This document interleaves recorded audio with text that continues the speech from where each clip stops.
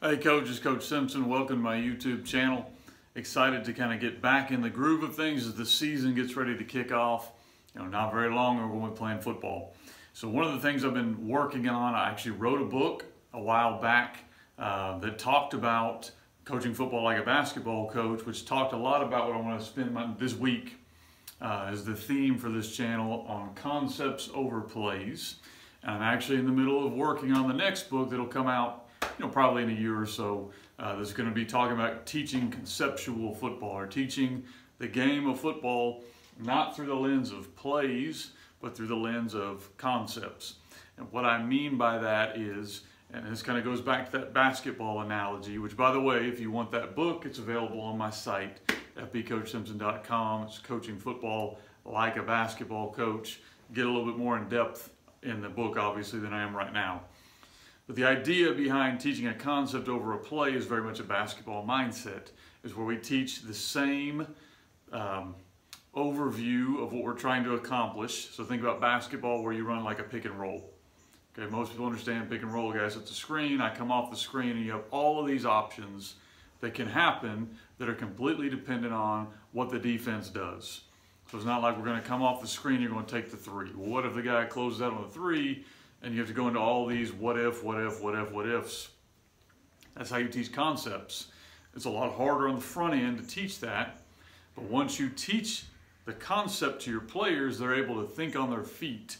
And that's what makes basketball a very good sport, I think. We're starting to see this bleed into football now, where you're starting to see at all levels, NFL, college, I think it really started at the high school level actually. You're starting to see all of these where we're teaching a concept to our player where, you know, we're going to run four verticals unless, and then you talk about a VR, a vertical release. If I'm capped, I can break it down. Or, hey, we're going to run all verticals, but I want you guys to switch your route so we get kind of a scissors action. Well, that's the same, in my mind, that's the same concept, okay? To a defense, that might look like, oh, they're running all stops, or the outside guys are running stops, or they're running switches, which are all just verticals. But to an offense, that's one concept. That's verticals. Okay, so I'm going to use counter as my example on this. And like I mentioned, the next book I've got coming on, a lot more in depth on this, or you can read the older book. It's got some uh, ideas as well. We're going to talk about counter being taught as a concept. Okay, so I've got three different ways that we're going to flavor this thing up to make it look different. Okay, we're going to talk today about how counter can be run by different players. The next day we're going to look at how we tag it, how we run different tags with the same concept. It's the same thing for our guys. We're just flavoring it up a little bit, okay? Or how we bring in the RPO world into that. We keep our same concept and we start blending things together.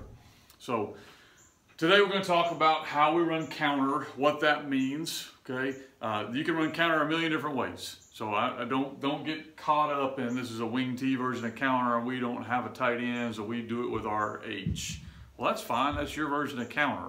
Just get the main general point of this is how to think of it as a concept and how to turn one play into many. That's the goal. Okay, so for us in our world, counter is a double handoff. So we just call the word counter and say nothing else, here's how we block this. We're going to block gap down backer on the play side.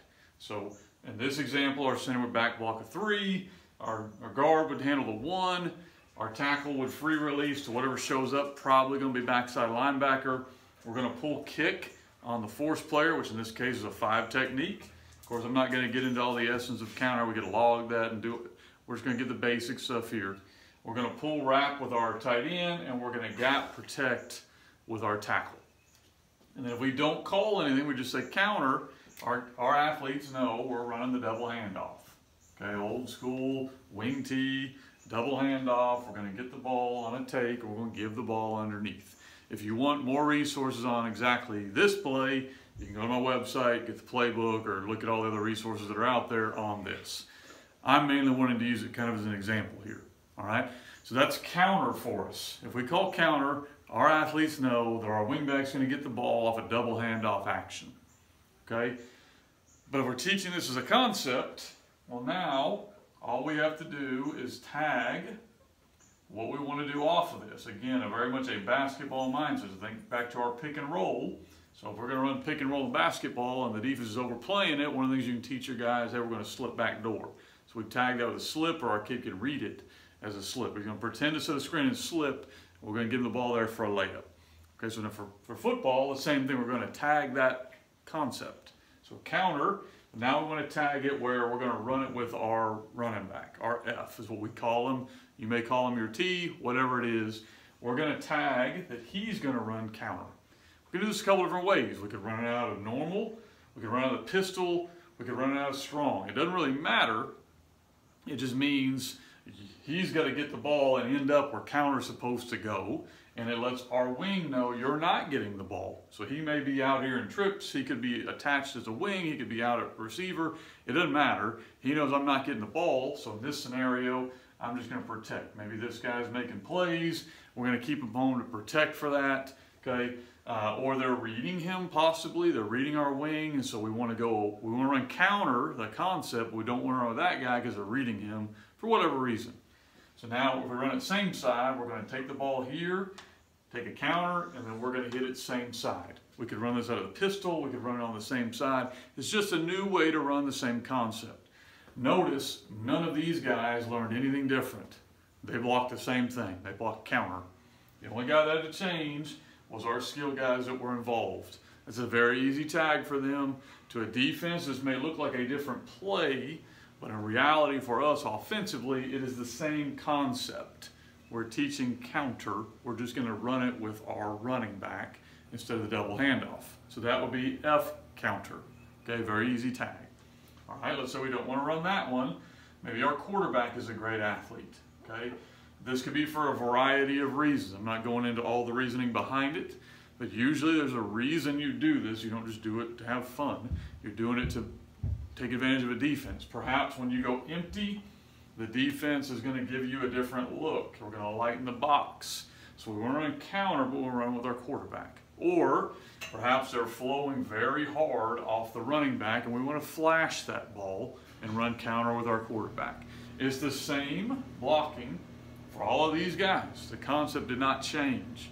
Who we ran the ball with changed. Okay, so we can run it a couple of ways depending on how the defense is playing this back.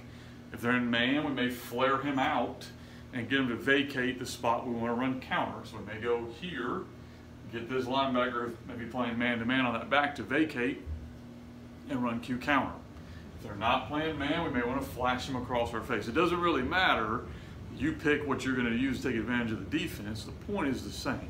We're going to teach the same concept. So if he flares and they go, the quarterback looks at him, sets the blocking up, same concept, and then the Q runs counter. It's the same concept. We're just running it with a different player. Okay? To me, that's the way we look at everything we do. And if you're going to get to this point offensively, that means you can't have a whole lot of concepts because you're starting to see how involved these can become. If we're going to run counter, we're going to be really, really good at running counter. You're starting to see a lot of offenses move to this because it looks like, man, you guys only run like five plays. The reality is, one, we call them concepts, not plays. And two, we have so many flavors off of this, not even getting into formations, but to a defense, that looks completely different. It almost looks like a different play to them. But for us, offensively, it's the same concept. Okay. Again, if you want more information on double handoff, I've got that on my website. Get off the playbook, you can get it off of a couple different videos I've got on it. If you want more information on this theory of concepts over plays, I've got a book out, Coaching Football Like a Basketball Coach. It's on Amazon or my website. I got a new book coming out. I'm excited about that. Appreciate you guys tuning in. Don't forget the rest of this week I'm going to go through the tags we use. So that's the first part of teaching a concept. We, we can do this with multiple guys. Well, the next part is, well, now we're going to start messing a little bit with the blocking. It's the same concept, but we're going to tweak the blocking a little bit to make it work for us. And then we'll get into RPOs, how we bring the RPO world into the same thing. So we take a concept and make it look very, very different to a defense. Appreciate you tuning in. If you have not already done so, you can subscribe to this channel down below. I'm trying to put out as much as I can on YouTube, free information for coaches. Appreciate if you like the video. Comment down below if you're doing some similar things. I'd like to get ideas from you as well.